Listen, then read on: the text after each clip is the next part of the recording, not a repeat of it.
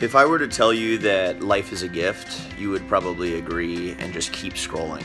And that's because we see inspirational fluff each and every day on our news feeds, and it kind of falls into the background. But what if I were to say that you could actually use the Carpe Diem memes and the one second, and the inspirational quotes and and the like, and you could actually utilize those and benefit your life. If you turn on a part of your heart, you can actually use those to improve your life.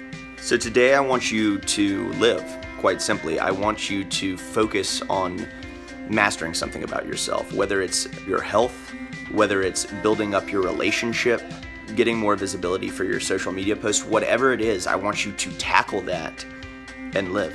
Thank you. This was my first uh, motivational video, so comment. Tell me how you think I could do better because um, that's what we should all be striving for.